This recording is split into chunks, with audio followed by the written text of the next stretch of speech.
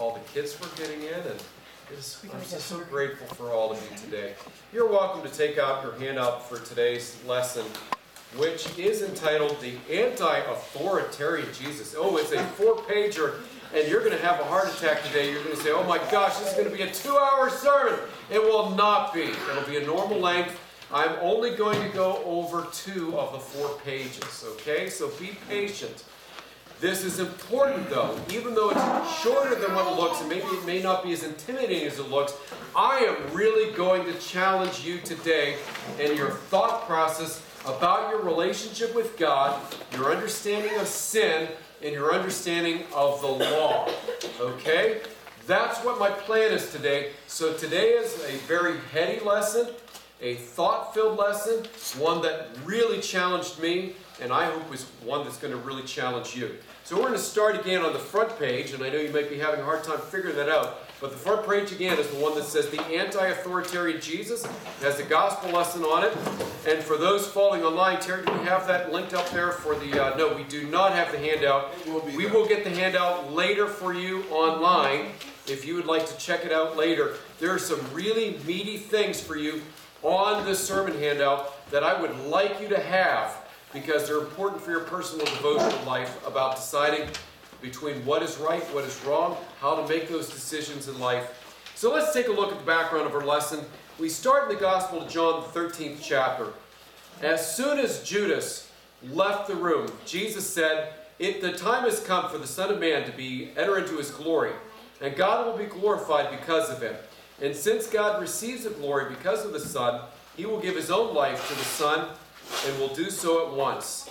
Dear children, I will be with you only a little longer, and as I told the Jewish leaders, you will also search for me, but you cannot come where I'm going. So now I am giving to you a new commandment that you would love each other just as I have loved you. You also ought to love one another. For your love, for you, you your love for one another will prove to the world that you are my disciples. Let us pray. Bless this word today, God. Strengthen us with your presence. We invite you to come into our lives. May your spirit fall upon us. May we be inspired by this word and transformed by it. For it is in Jesus' name we pray. Amen. Now, this lesson actually starts right in the middle of a story. And it's a story of Jesus' last meal with his disciples. And so we need to know a little bit of background to understand this lesson, what is taking place here, because there's some things that are implied in the lesson today that are not actually stated because we don't read that portion of the lesson. So, a little bit of background Jesus and his disciples, the 12 guys, are sitting there in an upper room, and they're there partaking of Jesus' Last Supper with his disciples. And he breaks bread with them, and on and on and on. And before the supper takes place, so Jesus does something really incredible. He washes the feet of the disciples. Now, why is it such a spectacular thing? It is a common thing when you go to a Jewish meal that somebody, i.e., a servant, washes your feet. Why is that important? Because I want you to take that image that you have of Leonardo da Vinci's Last Supper and get that out of your mind because that's not what it looked like. They were not sitting there at a table, sitting on chairs, sitting beside each other in the manner as depicted in the Last Supper that of his of his famous painting. Here's how it really happens. Their table was oh about knee height. You would come in, you would recline at the table on your left elbow. Why your left elbow? Because most people are right-handed. They eat with their right hand, right? And guess where your feet are? Well, you're just out of luck if you're left-handed. So guess where your feet are? Oh, in the face of the guy to your right. And you've got the face of the guy to your left in your face. Who wants to eat with somebody's stinky feet right in your right in your face? Sure, I don't. That's for sure. So that's why it was important for their feet to be cleaned at that point. Well, the 12 disciples are all looking at each other and saying, I'm not going to do it. I'm not going to do it. Because again, it's always the lowest person who cleans the feet of everybody else. So guess what Jesus does? He cleans the feet of all the 12 disciples. They're like, oh, no, you can't do that, Jesus. Now that they see that Jesus is going to do it, he says it is necessary. It is necessary that I clean your feet. Why? Because of what I'm going to tell you just a bit. And he's going to tell you that in a minute. We'll get to what he's going to tell them. Jesus then, what does he do? He then takes and breaks a piece of bread, he dips it in the wine, and he hands it to who? Judas. Now, you know, I've said this before, that's called the sup, and it is a sign in a meal of your best friend. It is a sign of friendship. Jesus handed to Judas, full well knowing what Judas was about to do, and then he dismisses Judas to go and do what he's going to do. And what's interesting is it says in the Bible the disciples have no clue what Judas is going to do. In fact, they think he's going out to maybe pay the bill for the upper room, or maybe get a turkey, or maybe get the entertainment for the night. Who knows? Whatever they think he's going to do, they certainly didn't realize that it was going to be to betray Jesus to death. So that's the background of our lesson. And now we pick up with what we just read moments ago in the book of John, chapter 13. And Jesus says to his disciples, now that Judas is gone, he says, It's time now for me to enter into glory and for God to be glorified by what? His sacrifice of his life. And then he goes and tells his disciples that they will not be able to come to him with him on this journey. They're like, But we've been following you for the last three years. Where are you going? You can't come. You want to know why they can't come? Because Jesus is going to die. And let me tell you, Peter, moments ago, was just saying, Well, Jesus, even though everybody else denies you, I will go and die with you. Oh, no, you weren't. Judas, or Jesus did not want Peter to die that night. Why? Because Peter still had reasons to live. And here's the good news I have for you so do you. God never asks you to give up your life for somebody else. That's not what the Bible asks you to do, and that's not what Jesus asks you to do. We all have things to do in this life, and the only death that has any meaning is the death of Jesus Christ. Your death for me is meaningless. I don't need you to die for me. You know what I need from you? The same thing you need from me. You need me to live for you. I need you to live for me. Okay? Number three. The third thing that Jesus does is he gives us a brand new commandment. What is that commandment? Love as I have loved you. What was his example again? Ah, now we get to that story why Jesus said it was necessary for me to clean their feet. The example of Jesus' love is the cleaning of the disciples' feet. And now they're starting to understand why that activity was so important and why Jesus said it was so necessary for him to clean their feet because it was the example of what true love is. The master serves the servant. That's how true love is expressed. Jesus is the anti authoritarian. See, I know we got elections going on, we got all these politicians going on, they all want you to serve them. Jesus wants to serve us. Okay? He's the authority of the world who submits to the servant. You laughing at me? I'll tell you. I was, I was just thinking. You know, I know. Trump, Trump watching somebody. That's feet. right. Can you imagine? but that's exactly the point. Imagine, I know we just said that as a joke, and I don't like to get political here, but imagine from any of these political uh, uh, presidential candidates watching any feet, and in particular Donald Trump. That's right, you can't imagine. This is what Jesus does. Jesus is higher and mightier than any of these folks, and he's sitting there washing the feet of the disciples. The master performs the humiliating, humiliating task that nobody else is willing to do, and with one word, with one commandment, replaces the entire Old Testament commandments, all of the Old Testament laws. Love one another, the entire legal system. Now, I need you to understand how profound a thing this is. Okay? That Jesus is asking us to love and no longer follow the Old Testament. Wouldn't it be nice? I don't know. If we had a book that told us everything we should know in life, everything we should do, and they answered all of life questions, well, according to the Bible, guess what? This book doesn't tell you the answer to every question you're going to face in life. And I know a lot of people disagree with me, but you got to hear me out. This book will not give you every answer you need. It will not tell you the answer to every moral quandary or question. Why? Because Jesus trusts that you're going to be able to figure it out.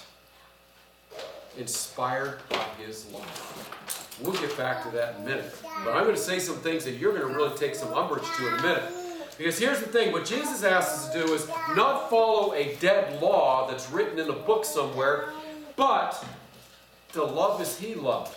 So here's the problem with love love is often a very debatable thing as far as how you're best supposed to love other people. And the problem with love also is it cannot be legislated, it cannot be enforced by the power of law. In fact, as soon as you take pen and put pen to paper and write the law, you shall love, it ceases to be love. Love is often circumstantial. So, what's right in Boise, Idaho, is not right in Pittsburgh, Pennsylvania. Oh, I got a better example. I'm going to prove to you this. And, what's right in Minneapolis, Minnesota, is uh, is not right here in Pittsburgh, Pennsylvania. So, when I'm going to tell you why this is true, and I know this to be true. If you ever have the opportunity to drive in Minnesota, I lived in Minnesota for four and a half years, I think it was, four years or so. And in Minnesota, one of the things that you miss when you're driving a car that you will never hear, or that you never hear in Minnesota that you do in Pennsylvania, guess what it is? No. What do you hear in Minnesota, Ella, that you don't hear in Pittsburgh? Or you hear in Pittsburgh, but you don't hear in Minnesota? Honking of the horns. You will never hear a person honk the horn in Minnesota. Because it's considered, no, they have horns, but they consider it incredibly rude to honk your horn. So I remember the very first time somebody, we pulled up to a stop sign and somebody was sitting there a little pausing a little bit too long for my comfort. And I beat the horn and they gave me the finger. You do not beep your horn at a person. It is considered bad etiquette in Minnesota. Okay? So it's considered wrong to be born in, Pen- in, in Minnesota. But in Pennsylvania, boy, you your horn everywhere, don't you? You just ha- hammer that thing. All right? So it's contextual. It depends on where you're at in the circumstances of life. And it's also true in terms of how we love each other. There was a man who wrote about how we need to learn each other's love language. And you need to do that with your spouses and with people who you're surrounded with in life. Because I want you to imagine your spouse comes home at night, and what's the first thing oftentimes you want to do? You want to go up and give them a hug, a kiss, or whatever, welcome home, and isn't that great? Meanwhile, your spouse is sitting there looking in the kitchen to see if you got the dishes done. Okay? Because what really tells them that they're loved is that the dishes are out of the sink and back where they're supposed to be. You see, because people have different love languages. So for some people, it's emptying the dishwasher, making sure the dishes are done. For others, it's that hug and the kiss at the doorway. But for every single person, love takes a differing form. Go on to the second page, the back page of this one. This is why every single law, including every single law written in this book, with exceptional love, always falls short. Jesus hammered this out with the scribes and Pharisees many times. He said to them, in essence, this, this is my paraphrase you can follow every single commandment in the Bible and still fall short of God's expectations of you. Why? Because the laws do not even scratch the surface of what God's true, true will for us is. So you can you can say, well, I fulfill all the Ten Commandments. I've never killed anybody. Good for me, right? I don't know about any of you. I've never killed anybody. The Bible says, thou shalt not kill. I fulfilled that commandment, right? Oh no, I have not. Because there's more to the commandment, thou shalt not kill, than thou shalt not kill. It also is, thou shalt take care of and love your neighbor and make sure that their livelihood is protected. Didn't hear that in the commandment, though, did you? But that's God's intention. And that's why a commandment written in black and white is so inflexible and so unable to communicate everything that we need to understand about who God is and what God wants us to do. The law is not flexible enough to address every need, every concern, every circumstance, or every context, but love is able to change its course in a heartbeat, in a moment. It is always able to meet the needs of the person right in front of you. Now, do you understand why the love is so much far superior than the law? Let's go on. Number two.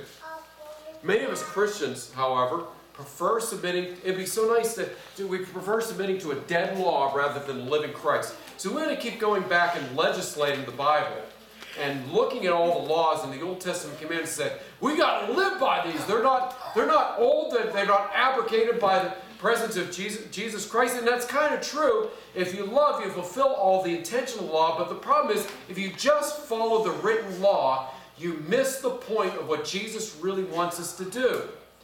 And it's easier to be told sometimes what to do than to have to figure it out. And so when you're faced with challenging difficulties in life, it's easier. Uh, what, what happens is you get people, Christians, that start to argue about it and say, Well, I think we should do this. I think we should. Well, you're wrong because the Bible says. I believe it. That settles it. And they use the Bible as a club to smack you over the head. Has that ever happened to you? People done that to me. I hate that. I despise that. I think it's wrong. Now, I have no problems with the first portion of that. The Bible says it, I believe it. I agree with that.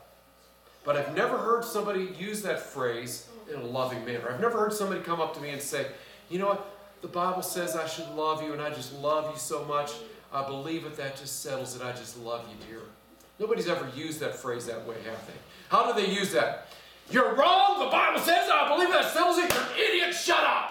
That's how they use that phrase, right? Am I right? Okay? That is so not God. And that's so not the love of Jesus Christ. When we use that phrase in that way, that is the murderous spirit of Christian authoritarianism rearing its head. And that's not the way of God. Love dies with those words when we speak them in that way. That's not the way of Jesus. It's not the way of love. So, this box, guess what? You don't have to listen to me preach this next box. It's for you to take home about that phrase. The Bible says, I believe it, that settles it. First of all, nobody actually believes that. They only believe that when they want to shut you up and they disagree with you. Okay? So you can go ahead and read some of those things, to, and I will prove to you why nobody actually believes what they just say when they say that phrase. But going on to the next page, that doesn't mean that I don't believe the Bible. It just means that I believe that the laws of the Bible are inflexible and unable, unable to communicate everything in every way that we are supposed to love each other. So the next page, it says the Bible is not wrong. Because after all, the Bible is the inspired Word of God in written form. It is therefore normative. N-O-R-M-A-I or N-O-R-M-A-T-I-V-E. If you don't know what that word means, it basically means it's for our benefit, but it's also for um, it's also our authority in our life. It tells us who we are supposed to believe, or everything we need to know, or what we need to know about God. Is normative. It informs our faith. That would be a better way to say it. But the Bible is not a book that's to be used to smack people over the head. Here's what the Bible is the Bible is the story of our immaturity and our need for a law for a time to guide us. It is also the story of how God sent Jesus to the world to love it. It is also the story of the anointing of the Holy Spirit to all who believe in Jesus Christ. It is also the story of the call on the Christian to Christian maturity so we no longer have to depend upon written legalisms for guidance and direction, but our ability to understand God's love and to give it freely. That's what this is. So if this is ever used as a club to shut you up, or if you ever use this as a club to shut other people up, you're using it wrongly. It's a story of how much God loves us and how you are to be inspired by this story to love others. That's what this book is all about. And this story will transform your life. So look at number three. Every written law, including even those in the Bible, suffer from severe limitations. No law can cover every context or individual. The biblical law was just a stopgap, a mentor until the time of Jesus Christ. Therefore, the laws of the Bible cannot be codified in a manner to address every single concern. We're on the one that has a nice little picture frame there. So, what do we do with this lesson for today? And this is the last portion of the lesson for us. What do we do? What does this mean for us? When we think about all the quandaries that we're in today, all the difficult decisions that we have to make, uh, all of the moral things that take place in our lives, or immoral things, or how do we make decisions? What is moral? What is not moral? How we take make a decision? What is love and what is not loving? Our fallback position should never be let's check the legalisms of the Bible and figure it out. Because you're not going to be able to figure out what you're supposed to do based on the legalisms of the Bible. Okay? Chances are very few of them apply to, oh, I don't know, uh, genetic engineering or testing or some of those types of things or difficult moral quandaries that sometimes we find ourselves in. The Bible is not an authoritarian book that tells what to do, how high to jump, where to go. The Bible is God's story of love that's meant to inspire you to love other people. That's how this Bible is supposed to be used. So you need to understand the radical nature of what Jesus has done this day. Jesus trusts you. Imagine that. Isn't that our goal as a parent? Our goal as a parent is to raise our children, to give them our values, and then let them go and make decisions for themselves. That's what God wants to do with us. If we're sitting here, keep running to Him, saying, What commandment covers this one? What commandment covers this? Jesus saying, I've given you everything you need to know. In my love for you, you can make decisions for yourself. Now, when you make decisions, you might fail sometimes. But here's the point of this if you make decisions based on your love for God and how much God has loved you, chances are the decisions you will make will be correct. But if you try to follow the law, the law is not flexible enough to allow you to love appropriately depending on the context, the person, and the circumstances. Jesus trusts that his love for us, he trusts us that his love for us will inspire us to love as we've been loved. Because Christian morality is not based on a bunch of dead laws or inflexible, burdensome laws, even those written in the Old Testament. Our morality is based upon the love that God has for us. That's the foundation of Christian morality. Not legalisms, not the law, but the love that God has for us. That's the radical nature of Jesus. The foundation of Christianity is based on the moral, our morality is Christ's devotion to us and for us, and our devotion, love for one another, and that's how we figure out what is right, what is wrong, how best to care, how best to love. We no longer live by the legalisms and laws, even of the Old Testament Bible. The law was a fine governor while we're young, but it's now for us time to grow up. And we are called to live by the Spirit, by one law. What's the one law we're supposed to live by? Love. Love the Lord your God with all your heart, soul, mind, your neighbor as yourself. I told you I gave you some extra things, tidbits here to take home with you. The last page, I'm not going to go through it all. I encourage you to take this home with you and use this for your personal devotion because it can be rather confusing, some of the quandaries and things through which you are going to have to go through in your life to come. Many decisions you're going to have to make are going to be very difficult. They're going to call uh, to question some of your thought process about what is moral, what is not, how best to love, how best not to love. But I want you to use the Bible in this fashion, not as a club to beat people over the head, to tell them what to do, but as a story of God's love, how much He cares for you. And we are, as a result, to be inspired by God's love, to care and love other people. Let us pray.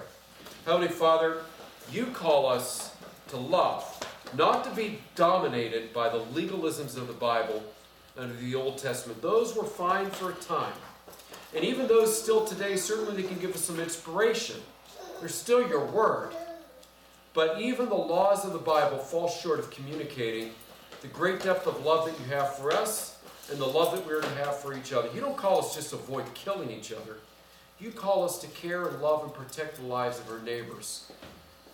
You don't call us just to avoid committing adultery. You call us to adore our spouses, to have them at the center of our lives. You call us, God, to protect and care for our neighbor's property. You call us, God, to worship you and to be devoted to you. These things cannot be contained in any simple commandments. And so, God, inspire us by the story of your love. Transform our hearts. We ask this all in Jesus' name.